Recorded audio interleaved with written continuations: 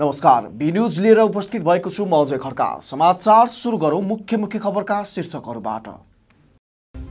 मुलुकमा थप दुई सय तिरासीजना कोरोना सङ्क्रमित थपिए। मृत्यु हुनेको सङ्ख्या दुई हजार बिस पुग्यो।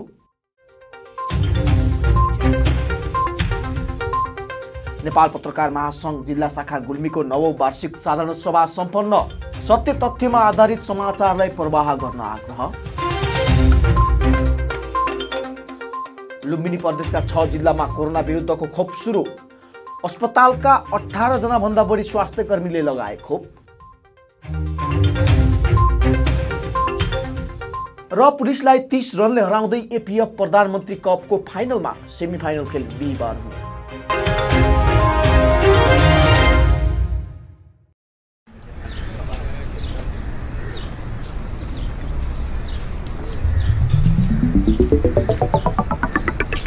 विशाल अनि तिर्सना तिमीहरू कता हिँडेको? कता हिँड्नु नि?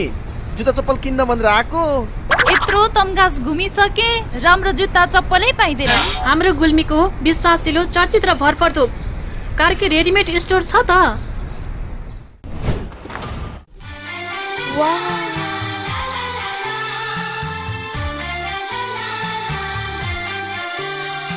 हामी कहाँ? Shikhar. Royal Rocket BF Black Horse लगायत विभिन्न ब्रान्डका party shoes sports shoes school सुजका साथै लेडिज जेन्ट्स तथा बच्चाका हरेक प्रकारका फेन्सी रेडिमेड कपडाहरू ब्यागहरू थोक तथा फुटकर मूल्यमा बिक्री गरिन्छ। Proprietor Arjun Karki phone number शून्य उनासी पाँच बिस छ सय छत्तिस Karki readymade and shoes centre Tamghas Gulmi एकपटक आएर त हेर्नुहोस्। अब समाचार विस्तारमा। पछिल्लो चौबिस घन्टामा देशभर दुई सय बयासीजनामा कोरोना भाइरस सङ्क्रमण पुष्टि भएको छ। पछिल्लो चौबिस घण्टामा दुई हजार तिरासी जनाको कोरोना परीक्षण गर्दा सो संख्यामा संक्रमित थपिएका हुन्। स्वास्थ्य तथा जनसङ्ख्या मन्त्रालयका अनुसार पछिल्लो चौबिस घण्टामा देशका विभिन्न भागमा दुई सय तिरासी संक्रमित थपिएसँगै नेपालमा संक्रमितको कुल संख्या दुई लाख सत्तरी हजार तिन सय पचहत्तर पुगेको छ। यसै गरी काठमाडौँ उपत्यकामा पछिल्लो चौबिस घण्टामा थप एक सय पैँतालिसजना संक्रमित फेला परेका छन्। मन्त्रालयका अनुसार काठमाडौँ उपत्यकामा एकसठी जना महिला र चौरासी जना पुरुष गरी एक सय पैँतालिस जनामा कोरोना भाइरसको संक्रमण पुष्टि भएको हो। यो सँगै काठमाडौँ उपत्यकामा संक्रमितको कुल संख्या एक लाख छब्बिस हजार तिन सय सडतालिस पुगेको छ। कोरोना भाइरस कोभिड नाइन्टिनको संक्रमणबाट पछिल्लो चौबिस घण्टामा देशभर दुई सय छ्यालिस जना निको भएर घर फर्किएका छन्। दुई सय छ्यालिस जना निको हुँदा डिस्चार्ज हुनेहरूको कुल संख्या दुई लाख पैसठी हजार उनासत्तरी पुगेको छ। यस्तै देशभर सक्रिय संक्रमितहरूको संख्या तीन हजार दुई सय छ्यासी रहेको छ। यसै गरी क्वारेन्टाइनमा रहनेको संख्या एक सय बाइस रहेको छ। पछिल्लो चौबिस घण्टामा देशभर चार हजार तीन सय बयासी जनाको पिसिआर परीक्षण हुँदा हालसम्म कुल बिस लाख सन्ताउन्न हजार उनासत्तरी जनाको पिसिआर परीक्षण भएको छ। पछिल्लो चौबिस घण्टामा तीनजना संक्रमितको मृत्यु हुँदा नेपालमा कोरोना संक्रमणबाट मृत्यु हुनेको संख्या दुई हजार बिस पुगेको छ। नेपाल पत्रकार महासङ्घ गुल्मीले बुधबार नवौँ वार्षिक साधारण सभा गुल्मीको रेसुङ्गा नगरपालिका सात लसुनी डाँडामा सम्पन्न गरेको छ। कार्यक्रमका प्रमुख अतिथि नेपाल पत्रकार महासङ्घ जिल्ला शाखा गुल्मीका संस्थापक अध्यक्ष हरिकुमार श्रेष्ठले जनतालाई सही र सत्य समाचार प्रवाह गर्न जिल्लाका क्रियाशील पत्रकारहरूलाई आग्रह गर्नुभयो। पत्रकार भनेको एउटा विश्वासिलो पात्र भएकाले सदैव जनताको मनोभावना अनुसार काम गर्न सके राम्रो हुने उहाँले बताउनुभयो। पत्रकारलाई राज्यले राष्ट्रको चौथो अङ्गको रूपमा राखेको हुँदा सत्य तथ्यमा आधारित समाचारलाई प्रवाह गर्न उहाँले आग्रह गर्नुभयो पत्रकारहरूले सत्यको पक्षमा आवाज निकाल्न कुनै कन्जुसाइ गर्न हुन्न। हाम्रो धर्म भनेको होइन बोल्न लेख्न पाउने स्वतन्त्र अधिकारको रक्षा गर्ने लोकतन्त्र प्रजातन्त्र जुन यसको लागि चाहिँ हामी आफ्नो कलम सधैँ अगाडि बढाउन जरुरी छ। र पत्रकारिताको गौरवमय इतिहासलाई यहाँले अक्षुण्ण राख्न आगामी दिनमा लागि पर्नुहुनेछ। व्यावसायिक पत्रकारहरू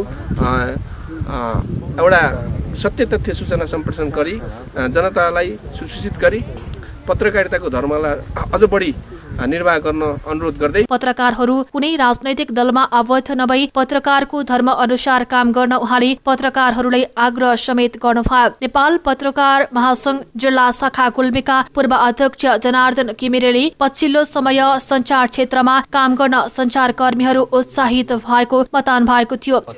खास गरी पछिल्लो समयमा सञ्चार माध्यमहरूमा काम गर्ने सञ्चारकर्मीहरूको उल्लेखनीय सहभागिता रुचि उत्साह बढ्दै गएको छ। किनकि हामी जबसम्म हामीले आफ्नो पेसालाई मर्यादित बनाउन सक्दैनौँ तबसम्म हाम्रो पेसा बलियो हुन सक्दैन। त्यसै हुनाले हाम्रो पेसालाई मर्यादित गर्ने काम हामीले आफै नै गर्ने हो अर्काले गर्ने होइन। पत्रकारलाई अर्काले गाली गरेर अथवा हामीले सञ्चारकर्मीहरू जोसुकै भए पनि सञ्चार एउटा सञ्चारकर्मीलाई गाली गर्दै गर्दा अर्को सञ्चारकर्मीले सुनेर बस्नु पर्ने अवस्था हाम्रो नआओस्। किनकि त्यो भन्दा दुःख हामीलाई अरू हुँदैन। जबसम्म पत्रकार पेसालाई व्यावसायिक र अनुशासित गर्न सकिन्छ तब मात्रै राम्रो हुने उहाँको भनाइ थियो। जिल्लाका पत्रकारहरू सबै एक भएर अघि बढ्न सके पत्रकारको एउटा संगठन बलियो हुने उहाँले बताउनु भएको छ। यस्तै नेपाल पत्रकार महासंघ जिल्ला शाखा गुल्मेका अध्यक्ष नवराज पोसाले कार्यक्रममा सहभागी हुने पत्रकारहरूलाई धन्यवाद ज्ञापन गर्नुभयो। नेपाल पत्रकार महासंघले दुई हजार बैसठी सालदेखि नयाँ काम गरेको उहाँले बताउनु भएको छ। नेपाल पत्रकार महासंघ जिल्ला शाखा गुल्मीले नेपालमै पहिलो पटक अतिथि गृह सहितको भवन गराउन सफल भएकोमा उहाँले खुसी व्यक्त गर्नुभयो। बैसठी सालमा हाम्रो संस्था गठन भइसकेपछि हामीले केही नयाँ कामहरू सम्पन्न गरेका छौँ। केही एउटा हामी गर्मिलो भएका छौँ। हामीले भवन चाहिँ नेपालमै अतिथि गृह सहितको हालै हामीले त्यो सञ्चालन गरेका छैनौँ। सभापति निवास सहितको नेपालकै एउटा मात्रै हामीले भवन सम्पन्न गरेका छौँ जहाँ सभापति निवास पनि छ। र मिडिया भनेको विश्वास हो। अरू केही पनि होइन जनताले विश्वास गर्नुभयो भने हाम्रो सम्पत्ति त्यही हो। होइन त्यसैलाई चाहिँ हामीले अगाडि बढाउने हो। जनताको विश्वास गुमाइयो भने हामी सबै कुरा गुमायौँ। मिडियामा त्यति कुरा हो। जनताको विश्वास जित्ने र सधैँभरि चाहिँ प्रगतिको पथमा हामी चाहिँ समाजलाई डोराएर लिएर जाने। यो कुरामा सबै साथीहरू लाग्नु भएको छ। मिडिया भनेको विश्वासिलो माध्यम भएकाले सबैको जनताको मन जित्न उहाँले आग्रह गर्नु भएको थियो। नेपाल पत्रकार महासंघ जिल्ला शाखा गुल्मीका उपाध्यक्ष अनिल खत्रीको स्वागत मन्तव्यबाट सुरु भएको कार्यक्रमको सञ्चालन सचिव टोपलाल अर्यालले गर्नु भएको थियो। लुम्बिनी प्रदेशमा पनि कोरोना विरुद्धको खोप अभियान सुरु भएको छ।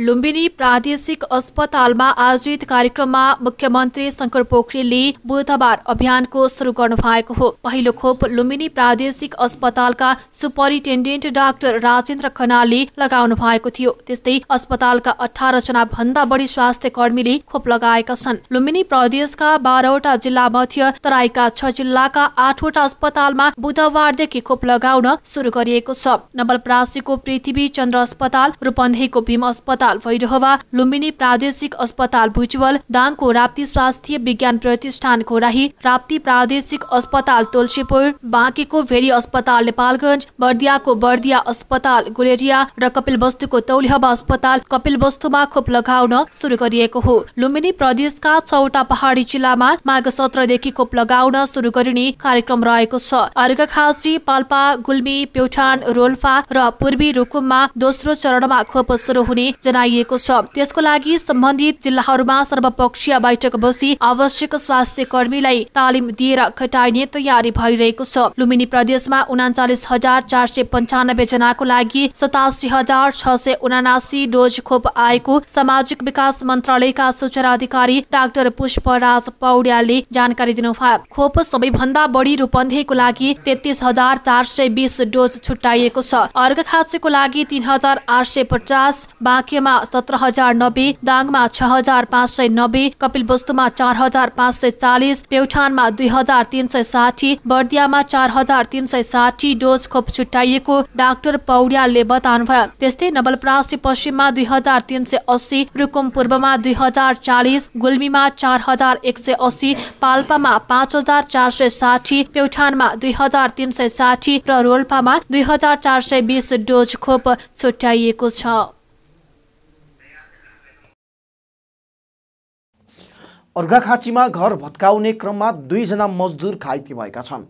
जिल्लाको सन्ती खर्क नगरपालिका वडा नम्बर दुई चुत्राबेसीको आकाशीय पुल नजिकै स्थानीय कृष्ण खनालको पुरानो घर भत्काउने क्रममा उनीहरू घाइते भएका हुन्। घर भत्केर भित्तामा च्यापिँदा दाङ लमहीका सत्ताइस वर्षीय प्रदीप चौधरी र अर्घ खासीको मालारानी गाउँपालिका रतनमारे बस्ने वर्ष बयालिसका रमेश नेपाली घाइते भएको जिल्ला प्रहरी कार्यालय अर्घ खाँसीका प्रहरी निरीक्षक राम नारायण गुप्ताले बताउनुभयो। चौधरीलाई छाती र हातमा चोट लागेको छ। उनको थप उपचारको लागि अर्घ खाँचीबाट बुटवलको लुम्बिनी प्रादेशिक अस्पतालमा लगिएको छ। रमेश नेपालीको अवस्था सामान्य रहेको र जिल्लामै उपचार भइरहेको प्रहरीले जनाएको छ। समाचारमा पालो भएको छ विश्रामको। विश्रामपछि पुनः उपस्थित हुने रहेछौँ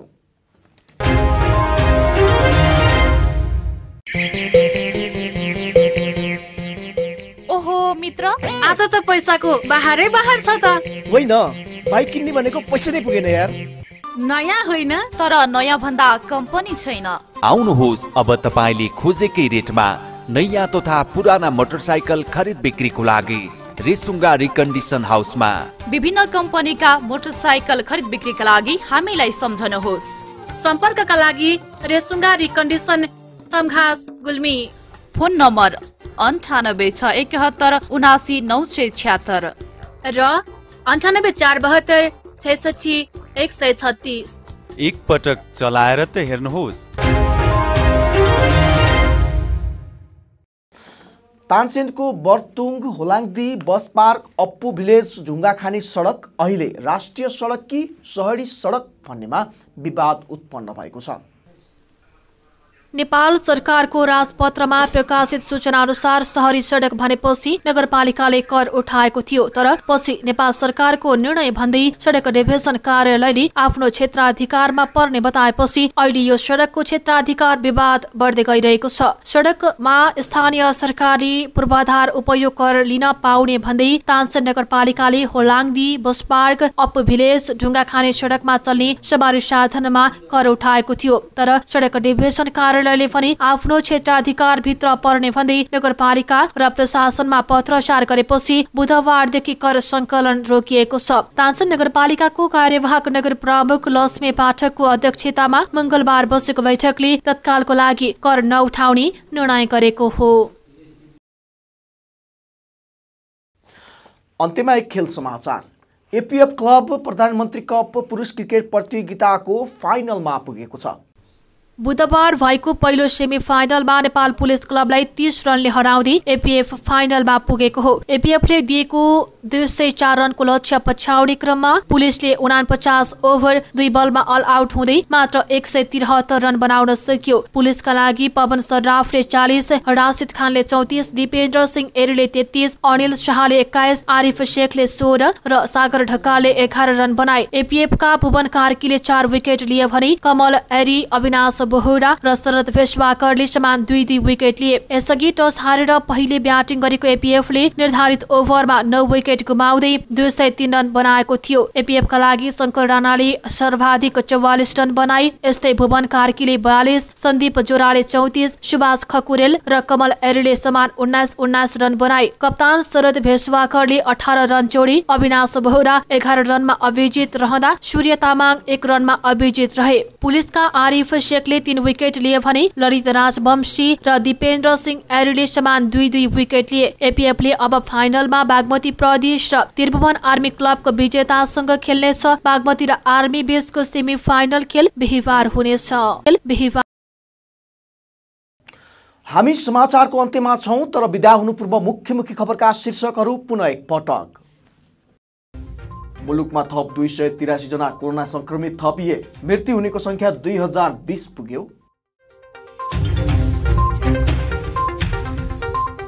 नेपाल पत्रकार महासङ्घ जिल्ला शाखा गुल्मीको नवौं वार्षिक साधारण सभा सम्पन्न। सत्य तथ्यमा आधारित समाचारलाई प्रवाह गर्न आग्रह। लुम्बिनी प्रदेशका छ जिल्लामा कोरोना विरुद्धको खोप सुरु। अस्पतालका अठार जना भन्दा बढी स्वास्थ्य कर्मीले लगाए खोप। र पुलिसलाई तीस रनले हराउँदै एपिएफ प्रधानमन्त्री कपको फाइनलमा सेमी फाइनल खेल बिहिबार हुने।